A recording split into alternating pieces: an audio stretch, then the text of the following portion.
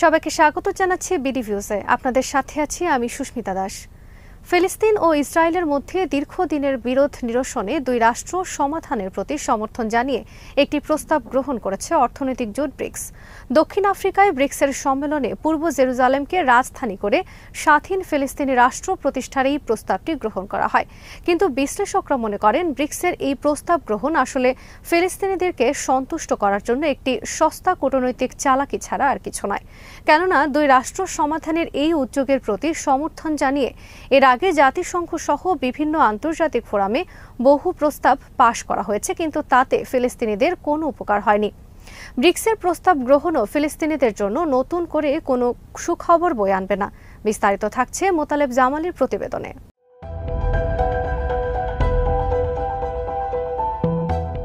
ব্রিক্সের মূল উদ্যোক্তা Brazil, Russia, Bharat, চীন ও দক্ষিণ আফ্রিকা। এই পাঁচটি দেশ ফিলিস্তিন সংকট নিরসনে দুই রাষ্ট্র সমাধানের তত্ত্বে বিশ্বাসী। কিন্তু এই পাঁচটি দেশেরই ইসরায়েলের সাথে রয়েছে ঘনিষ্ঠ কূটনৈতিক, সামরিক ও অর্থনৈতিক সম্পর্ক। কাজেই ব্রিক্সের উদ্যোগ ও প্রস্তাব পাশ করা যে ফিলিস্তিনিদের জন্য তেমন কোনো সুফল বয়ে আনবে না, তা সহজেই অনুমান করা যায়। তবে মাহমুদ আব্বাসের নেতৃত্বাধীন ফিলিস্তিনি কর্তৃপক্ষ ব্রিক্সের এই প্রস্তাব গ্রহণের প্রশংসা করেছে। কিন্তু বাস্তবে এই প্রস্তাবের অর্থবহ কোনো কার্যকারিতা নেই বলে মনে করেন বিশ্লেষকরা। তাদের মতে, ফিলিস্তিনিদেরকে সন্তুষ্ট করার জন্য এই প্রস্তাব ব্রিক্সের একটি কূটনৈতিক চাল ছাড়া আর কিছুই নয়।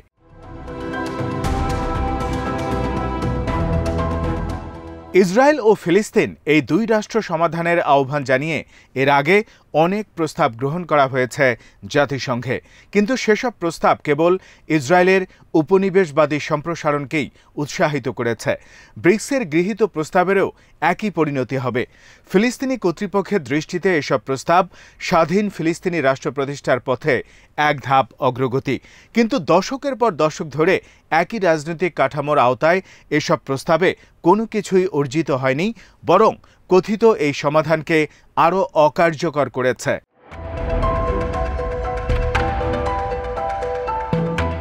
বৃহত্তর আন্তর্জাতিক সম্প্রদায় যেভাবে ইহুদিবাদী উপনিবেশকে মেনে নিতে ফিলিস্তিনিদের প্রতি আহ্বান জানিয়ে এসেছে, ব্রিক্সের প্রস্তাবেও ফিলিস্তিনিদেরকে তাদের উপনিবেশিক মর্যাদাকে মেনে নিতে বলা হয়েছে। অর্থাৎ ফিলিস্তিনি ভূখণ্ড পর্যায়ক্রমে ইহুদি উপনিবেশবাদী বসতিতে ভরে যাবে আর ফিলিস্তিনিরা তা চেয়ে চেয়ে দেখবে। ভারত, ব্রাজিল, দক্ষিণ আফ্রিকা একসময় যেরকম উপনিবেশে পরিণত হয়েছিল। এই দেশগুলো এখন অধিকৃত ফিলিস্তিনের জনগণকেও একই পরিণতি মেনে নিতে বলছে।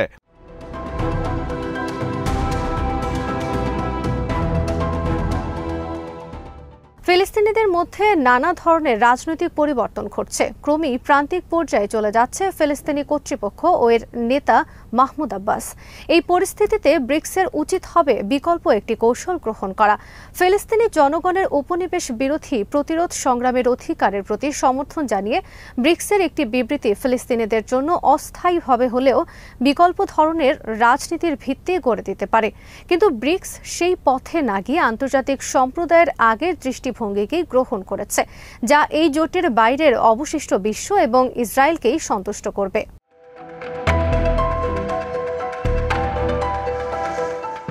বিশ্বের অন্যান্য নির্যাতিত জনগোষ্ঠীর মুক্তির জন্য বিকল্প উদ্যোগ নেওয়া হলেও কেবলমাত্র ফিলিস্তিনিদেরকে সেই সুযোগ দেয়া হচ্ছে না। বরং দু হাজার বাইশ সালে ফিলিস্তিনিদের জন্য একটি আন্তর্জাতিক শান্তি সম্মেলন আয়োজনের প্রস্তাব করেছিল ব্রিক্স। কিন্তু এসব সম্মেলনের বাধ্যবাধকতাহীন প্রস্তাবে কোনো রাজনৈতিক সদিচ্ছার প্রতিফলন ঘটে না। ফলে এ ধরনের নির্বিঘ্ন প্রস্তাব কার্যত ইসরায়েলের ঔপনিবেশিক দখলদারিত্বকেই স্বীকৃতি প্রদান করে থাকে।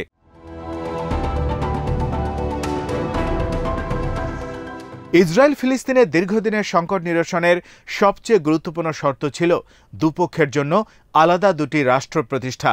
আর এই সমাধানের তত্ত্বটি এসেছিল উনিশশো তিরানব্বই সালে অসলো শান্তি আলোচনার মাধ্যমে। দুপক্ষই তাতে সম্মত হয়েছিল। দীর্ঘদিনের সংঘাত, সহিংসতার পর ইয়াসির আরাফাতের নেতৃত্বাধীন পিএলও ও ইসরায়েল নরওয়ের রাজধানী অসলোতে একটি শান্তি চুক্তিতে স্বাক্ষর করে। সেই চুক্তি অনুযায়ী তাদের একে অন্যকে স্বীকার করে নেয়ার কথা। চুক্তির পর পিএলও সহিংসতার পথ পরিহার ও ইসরায়েলের অস্তিত্ব স্বীকার এবং শান্তির অঙ্গীকার করে। এই শান্তি চুক্তির অধীনে গঠিত হয়েছিল ফিলিস্তিনি জাতীয় কর্তৃপক্ষ এবং ইয়াসির আরাফাত এর প্রধান হন। এটি আন্তর্জাতিকভাবে স্বীকৃত ফিলিস্তিনি সরকার।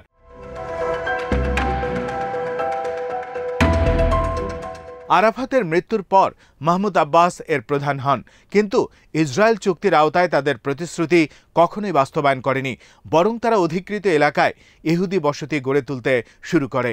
দীর্ঘদিনেও অসলো শান্তি চুক্তির কাঠামো বাস্তবায়নের উদ্যোগ নেয়নি ইসরায়েল, বরং তারা প্রতিদিনই অধিকৃত পশ্চিম তীরে ফিলিস্তিনিদেরকে তাদের বাড়িঘর থেকে উচ্ছেদ করে সেখানে হাজার হাজার নতুন ইহুদি বসতি স্থাপন করছে।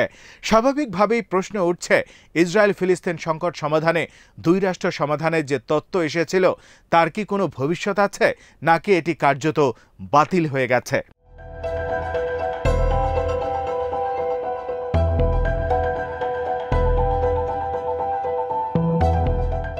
পরিস্থিতি এখন অনেকটাই বদলে গেছে। ইসরায়েলের সঙ্গে আগে বৈরী সম্পর্ক ছিল, মধ্যপ্রাচ্যের এমন কয়েকটি মুসলিম দেশ এখন ইহুদিবাদী দেশটির সঙ্গে সম্পর্ক স্বাভাবিক করেছে। আবার অসলো শান্তির আলোচনায় মধ্যস্থতাকারী যুক্তরাষ্ট্র সবসময় দুই রাষ্ট্র তত্ত্বের কথা বললেও, দেশটির সাবেক প্রেসিডেন্ট ডোনাল্ড ট্রাম্প ইসরায়েলে মার্কিন দূতাবাস তেল আবিব থেকে জেরুজালেমে সরিয়ে আনার পর ওই তত্ত্বের অপমৃত্যুই ঘটেছে বলে মনে করেন অনেক বিশ্লেষক।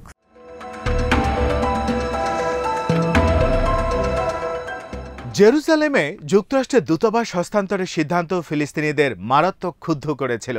যুক্তরাষ্ট্র যেদিন জেরুজালেমে তাদের দূতাবাস উদ্বোধন করেছিল, সেদিন অবরুদ্ধ গাজা উপত্যকা পরিণত হয়েছিল এক রক্তাক্ত ভূখণ্ডে। সেদিন গাজায় ইসরায়েলি হামলায় নিহত হন আটান্ন ফিলিস্তিনি প্রতিবাদকারী, আহত হন তিন হাজারের বেশি। দু হাজার চোদ্দ সালে গাজা যুদ্ধের একদিনে এত বেশি ফিলিস্তিনের প্রাণহানির ঘটনা আর ঘটেনি।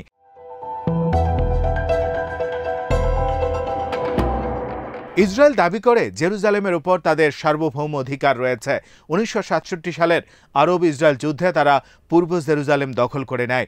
এই নগরীকে তারা এখন তাদের রাজধানী হিসেবে গণ্য করে। কিন্তু অনেক দেশই একে স্বীকৃতি দেয়নি। অন্যদিকে ফিলিস্তিনিরাও পূর্ব জেরুজালেমকে তাদের স্বাধীন রাষ্ট্রের রাজধানী করতে চায়। কিন্তু যুক্তরাষ্ট্র জেরুজালেমে তাদের দূতাবাস সরিয়ে আনার পর ফিলিস্তিনিদের দাবি কার্যত গুরুত্বহীন হয়ে পড়েছে। ইস্তাম্বুল ভিত্তিক বিশ্লেষক মুরাদ আসলান মনে করেন, ফিলিস্তিনিদের সামনে একটি বড় চ্যালেঞ্জ তৈরি করে গেছেন ডোনাল্ড ট্রাম্প ও তার জামাতা জ্যারেড কুশনার। ট্রাম্প দুই রাষ্ট্র নীতির প্রয়োজন নেই বলে মন্তব্য করেছেন। তিনি একটি স্বাধীন ফিলিস্তিন রাষ্ট্র প্রতিষ্ঠার মূলে কুঠারাঘাত করে গেছেন বলে মনে করেন মুরাদ আসলান।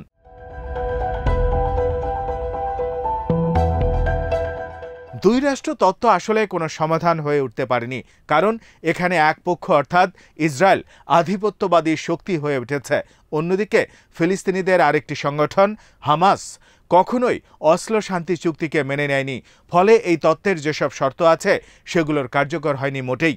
মুরাত আসলানের মতে, ফিলিস্তিন ও ইসরায়েলের মধ্যে এখন যে সহিংসতা চলছে, সেটি নিয়ন্ত্রণ করা এবং দীর্ঘদিন ধরে চলে আসা সংকট নিরসনে বিশ্বাসযোগ্য কারও মধ্যস্থতায় নতুন করে আলোচনা শুরু হতে পারে।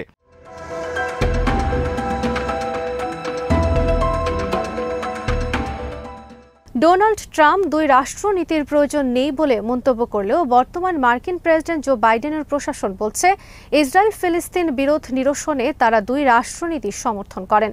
ফিলিস্তিন ইসরায়েল সংঘাত অবসানে আবারও দুই রাষ্ট্রভিত্তিক সমাধানের পক্ষেই সমর্থন দিয়েছে যুক্তরাষ্ট্র। দুই হাজার বাইশ সালের সাত নভেম্বর ফিলিস্তিনের প্রেসিডেন্ট মাহমুদ আব্বাসের সাথে ফোনালাপে এই সমর্থনের অঙ্গীকার পুনর্ব্যক্ত করেন মার্কিন পররাষ্ট্রমন্ত্রী অ্যান্টনি ব্লিংকেন।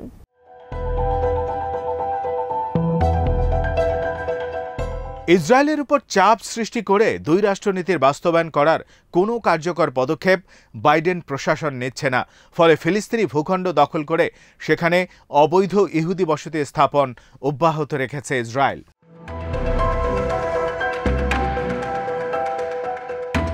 দু হাজার এগারো সালে একটি পূর্ণ সদস্য রাষ্ট্র হিসেবে জাতিসংঘের স্বীকৃতি পাওয়ার চেষ্টা করেছিল ফিলিস্তিন। কিন্তু জাতিসংঘ নিরাপত্তা পরিষদের আপত্তির কারণে তাদের সেই চেষ্টা সফল হয়নি। অবশ্য দু হাজার বারো সালের উনত্রিশে নভেম্বর জাতিসংঘ সাধারণ পরিষদে একটি প্রস্তাব ভোটে পাশ হয় যাতে ফিলিস্তিনকে পর্যবেক্ষক রাষ্ট্রের মর্যাদা দেয়া হয়।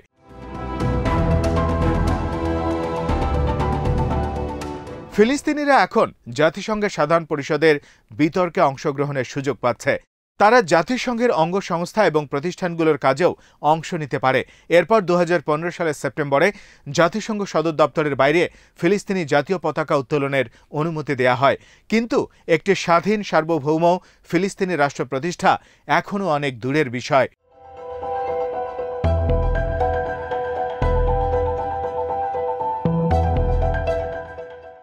আজ এখানেই শেষ করছি। সবাই ভালো থাকুন, সুস্থ থাকুন, আর দেখতে থাকুন বিডি ভিউজ চ্যানেলটি ভালো লাগলে সাবস্ক্রাইব করুন, সংযুক্ত থাকুন আমাদের ফেসবুক পেজে